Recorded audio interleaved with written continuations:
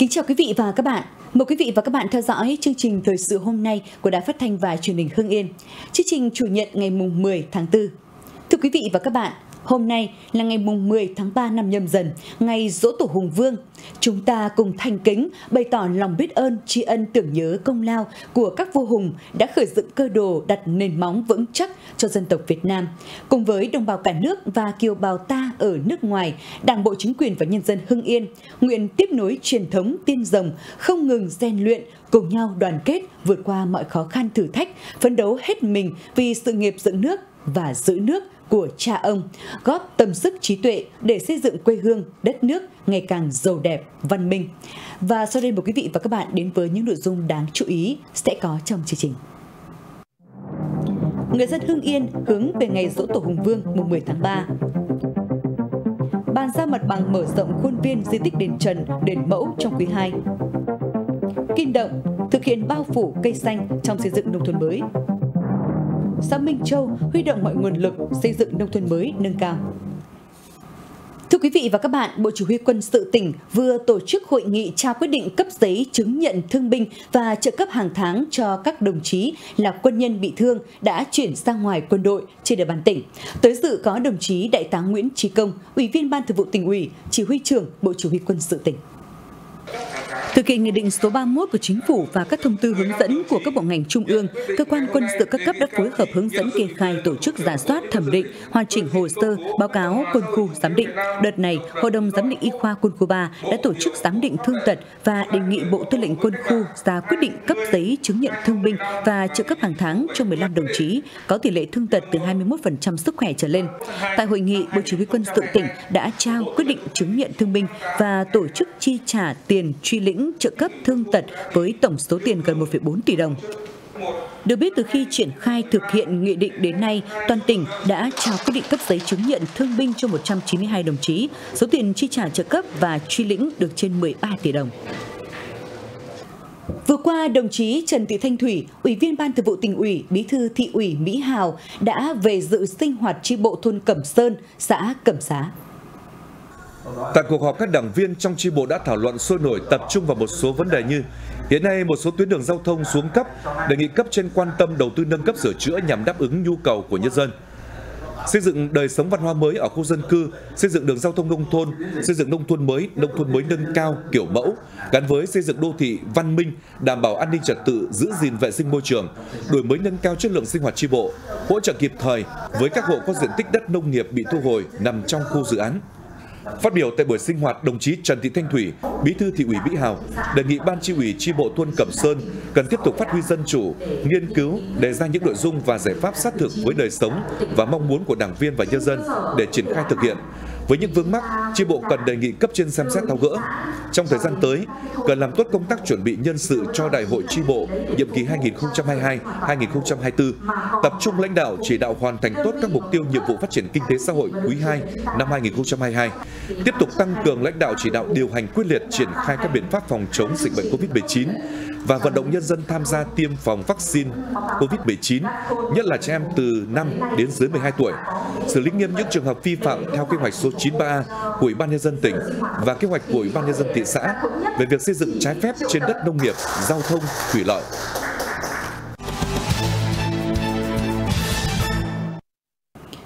Quý vị và các bạn đang theo dõi chương trình thời sự của Đài Phát thanh và Truyền hình Hưng Yên. Thưa quý vị và các bạn, con người có tổ có tông, như cây có nước, như sông có nguồn, trải qua bao giai đoạn lịch sử dựng nước và giữ nước. Trong tâm thức của mỗi người con đất Việt đều có chung một tổ tiên để hướng về, có chung một ngày quốc dỗ là ngày mùng 10 tháng 3, ngày dỗ tổ Hùng Vương. Nét đẹp văn hóa lâu đời luôn được nhiều người dân Hưng Yên giữ gìn thông qua tín ngưỡng thờ cúng truyền thống được thực hiện tại các gia đình địa phương để thể hiện sự biết ơn công lao lập nước của các vị anh hùng, mong muốn một năm bình an, mưa thuận gió hòa. Đã thành thông lệ, cứ đến ngày 10 tháng 3 hàng năm, các con cháu dâu rể trong gia đình ông Duệ ở xã Hoàng Hoa Thám, huyện Ân Thi đều trở về quê để thực hiện cúng dỗ tổ dù các thành viên đều đã trưởng thành và công tác xa nhà. cùng nhau chuẩn bị mâm cơm dâng lên tri ân các vị vô hùng và tổ tiên. Món ăn không thể thiếu trong ngày này của gia đình là bánh trôi, bánh chay, bánh trưng và bánh dày. Gia đình chúng tôi cũng như là địa phương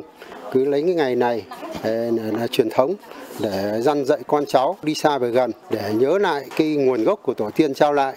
khởi nguồn từ tập quán thờ cúng tổ tiên, ý thức thờ cúng hùng vương đã trở thành biểu tượng văn hóa tín ngưỡng tự hào của từng gia đình dòng họ địa phương.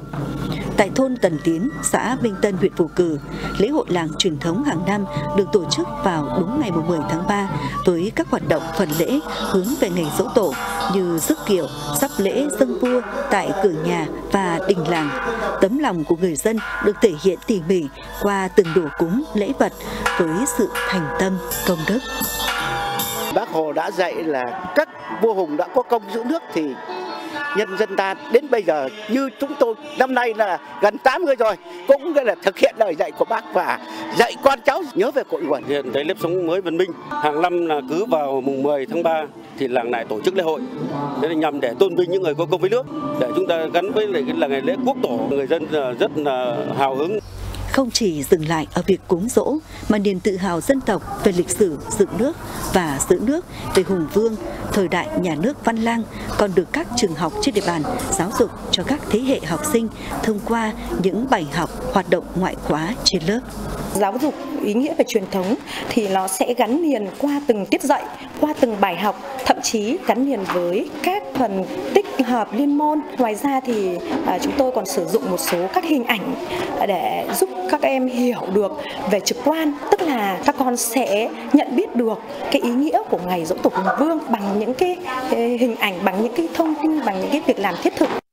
Dù ai đi ngược về xuôi, những ngày dỗ tổ mùng 10 tháng 3, ngày này đã trở thành ngày hội tinh thần lớn trong mỗi tâm thức của người dân Hương Yên dù ở nơi đâu. Tín ngưỡng thờ cúng hùng vương, sợi dây gắn kết cộng đồng luôn được thực hiện bằng nhiều hình thức như dâng hương, dâng lễ tại các đình chùa làng, hành hương về đất tổ Phú Thọ hay cúng dỗ tại các gia đình. Nén hương trầm thắp lên tưởng nhớ công ơn của vô hùng cũng là lời hứa của thế hệ hôm nay với tổ tiên, đó là tiếp tục giữ nước, bảo tồn, giữ gìn và phát huy những giá trị văn hóa, cội nguồn truyền thống mà cha ông ta đã gây dựng và phát triển quê hương ngày một giàu đẹp, văn minh.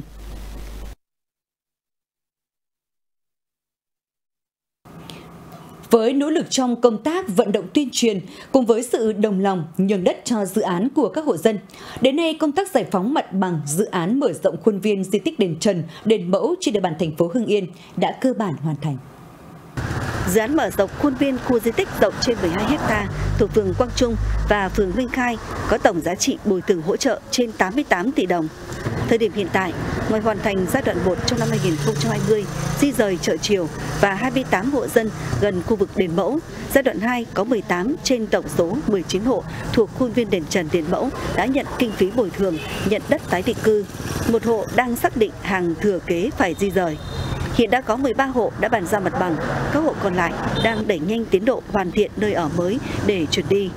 Theo ban quản lý dự án thành phố Hưng Yên, công tác giải phóng mặt bằng được triển khai thuận lợi, đơn vị sẽ san lấp và bàn giao cho đơn vị thi công trong quý 2 năm 2022.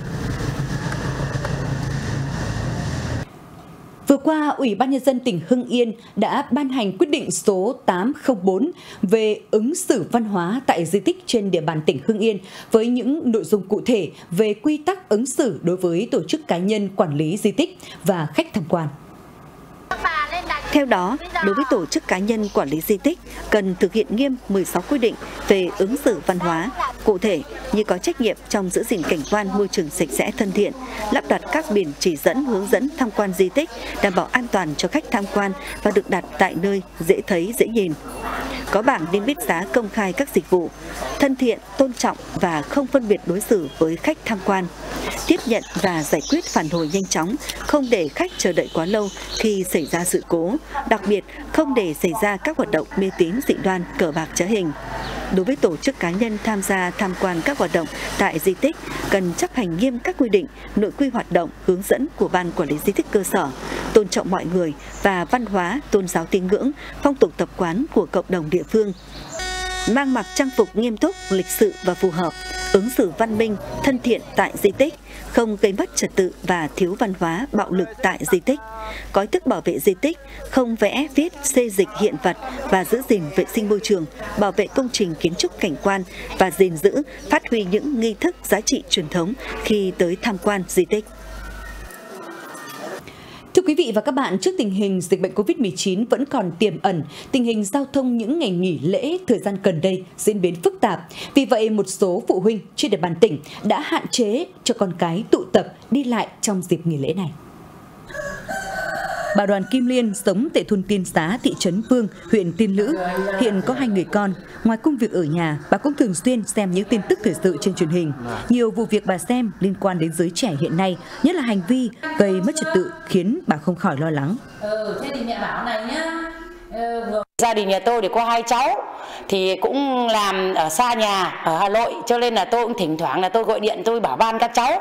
là các con là phải học hành đến nơi đến chốn đi làm phải cẩn thận không được đàn đúm như là trong tivi mẹ xem. Thế thế là rất nguy hiểm. Khi mà về nghỉ là chỉ được nhà hạn chế đi chơi chỗ là thật cần thiết mà tin tưởng thì mới được đi.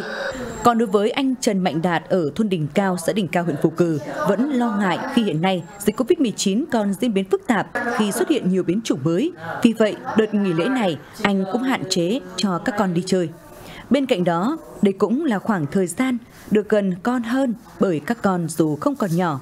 nhưng lại là lứa tuổi dễ sa ngã vi phạm pháp luật. Bây giờ cái tệ nạn xã hội thì trên mạng thì nó rất là nhiều, cũng chỉ làm sao kiểm soát chứ không để cháu tự do lên mạng trước thì nó cũng rất ảnh hưởng lớn. Từ năm 2021 đến nay trên địa bàn tỉnh đã xảy ra nhiều vụ việc liên quan đến trẻ vị thành niên, thiếu niên, học sinh đến hình sự và cấu thành tội phạm như đánh nhau gây thương tích, lạng lách đánh võng trên đường, tụ tập đua xe, vân vân, dẫn tới nhiều vụ thương tâm đáng tiếc xảy ra. Vì vậy, để con em mình không sa ngã vào những hành vi xấu, trước tiên mỗi bậc cha mẹ phải làm gương tốt cho con trong lối sống cách ứng xử. Gia đình hòa thuận sẽ tạo cho con em ổn định về mặt tâm lý, hình thành nhân cách tốt, đồng thời định hướng cho các em các mối quan hệ để các em có thể lường trước được mọi vấn đề, nhất là đối với các em đang tuổi vị thành niên.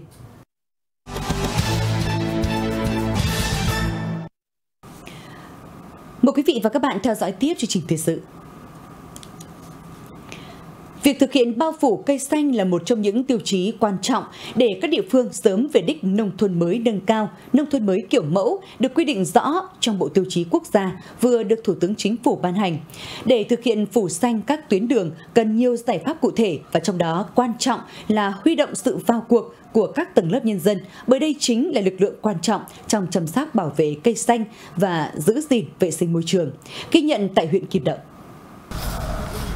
Dọc theo con đường dẫn vào gia đình, ông Vũ Văn Vông ở thôn Mát, xã Nhân La, huyện Kim Động là hàng cây xanh tỏa bóng mát với đa dạng các loại cây như lộc vừng, sấu, hoàng yến.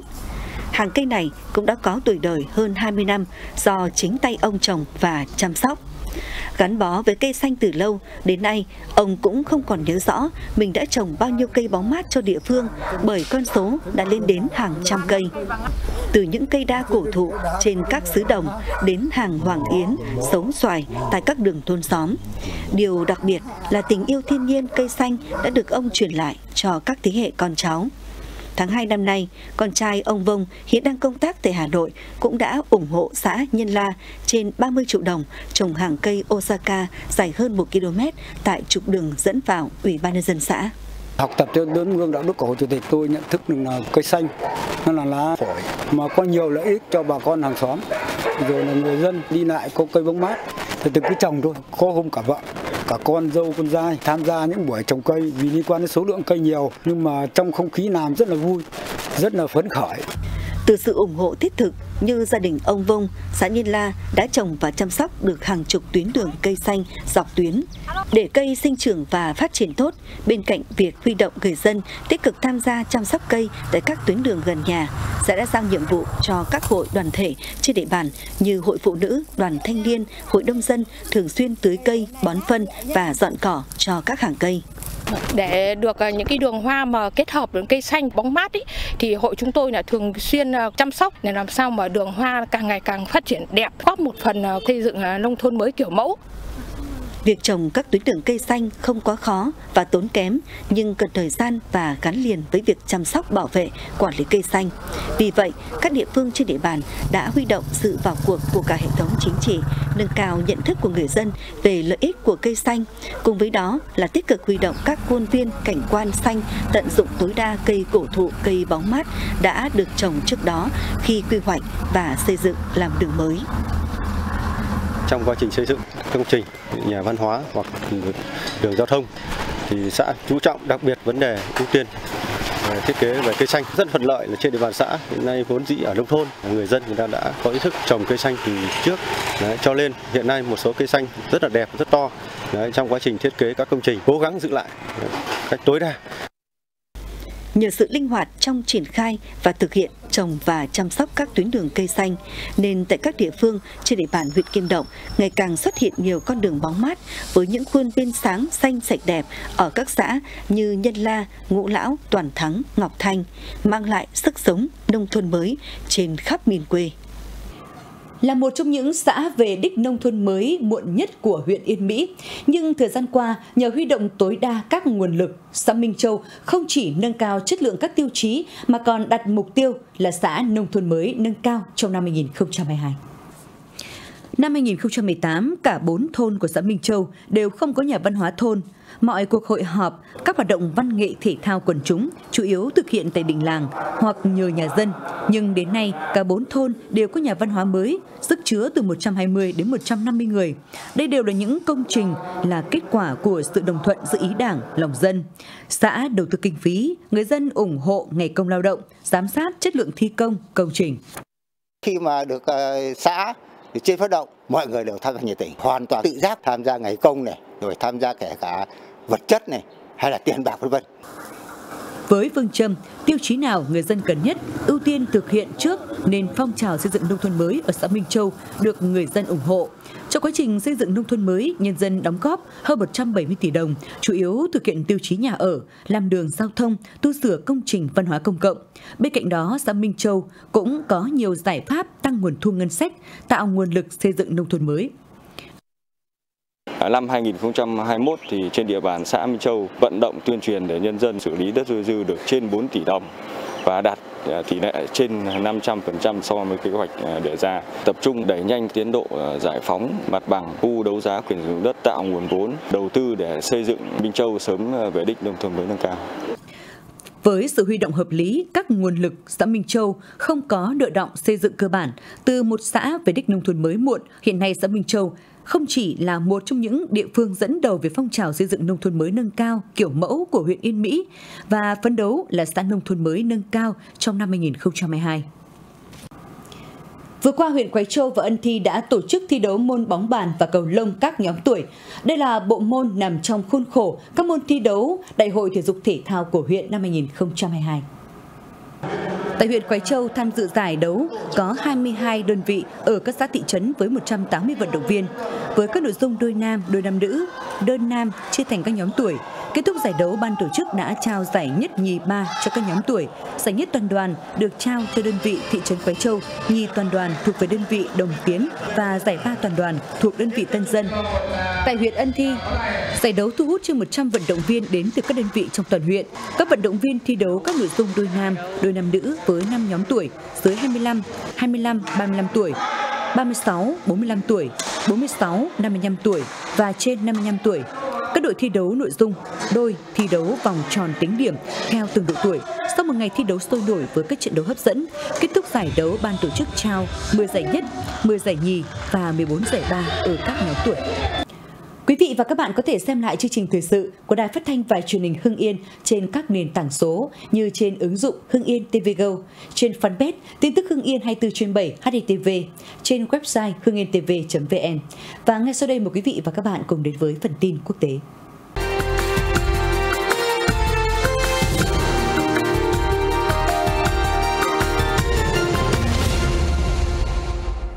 Tiếp tục chương trình mời quý vị và các bạn đến với phần tin quốc tế. Chủ tịch Ủy ban châu Âu EC, bà Ursula von der Leyen vừa qua đã tới Ukraine và đồng thời trao cho Tổng thống Ukraine ông Volodymyr Zelensky một phong thư chứa bộ câu hỏi là cơ sở cho các cuộc thảo luận trong những tuần tới về việc kết nạp Ukraine vào Liên minh châu EU. Nữ chủ tịch của EC đến Ukraine vào ngày 8 tháng 4 và trở thành nhà lãnh đạo cao cấp nhất của Liên minh châu EU thăm nước này kể từ ngày 24 tháng 2, thời điểm xung đột bùng nổ. Việc trao danh sách các vấn đề cần giải đáp là một trong những bước quan trọng để Ukraine trở thành thành viên đầy đủ của EU. Tổng thống Zelensky cùng các lãnh đạo của Ukraine đã ký đơn xin gia nhập EU vào hôm 28 tháng 2. Ông Zelensky thúc giục EU cho phép Ukraine gia nhập ngay lập tức theo cái mà ông mô tả là thủ tục đặc biệt mới, song không nêu chi tiết. Lãnh đạo Pháp, Đức, Tây Ban Nha và Hà Lan đã phản đối đề nghị kết nạp nhanh này.